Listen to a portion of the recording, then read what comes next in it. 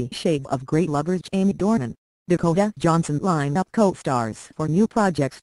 Fifty Shades of Grey stars Jamie Dornan and Dakota Johnson have found new co-stars for their upcoming projects, Wrap has learned. Guillaume Canet The Beach will join Dornan in Richie Smyth's Ye Adoptable, while Johnson has joined Alison Brie in New Line's romantic comedy How to Be Single, which has also added Rebel Wilson, Dan Stevens and Leslie Mann. Kevin Brodbin Constantine wrote Jadotville, which is a geopolitical thriller set against the backdrop of war that Alan Moloney is producing under his parallel filmed banner. Dornan stars as Irish Commandant Pat Quinlan, who leads a standoff with troops against French and Belgian mercenaries in the Congo during in the early 1960s.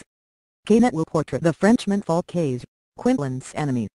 Bloom has come on to handle international sales on Ye and will introduce the film to foreign buyers at the EFM in Berlin next week.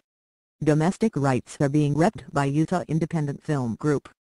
Ye is an Irish-South African co-production, which will begin shooting in the spring in South Africa.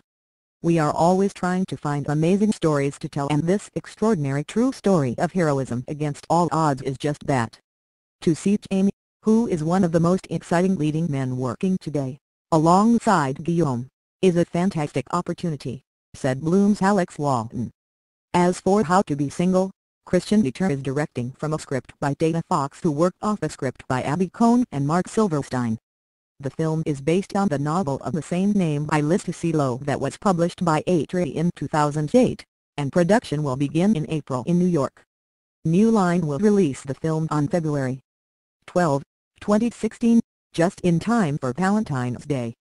Spanning a multi-year period, How to Be Single is an ensemble comedy that suggests it is not our relationships but our single times in between, that truly define us. The film will aim to honestly portray both the male and female views of singlehood. Additionally, the film will look at relatable issues such as online dating, casual sex, blind dating, the debate about how long to wait before having children, when to get married and the fear of commitment. John Rickard will produce with Fox, while Drew Barrymore, Nancy Juvonen and Marcus Viscidi will serve as executive producers. New Line executives Michael Disco and Dave Neustadter will oversee the project for the studio. Dornan and Johnson are poised for stardom, with Fifty Shades of Grey tracking strong as its February 13 release date nears.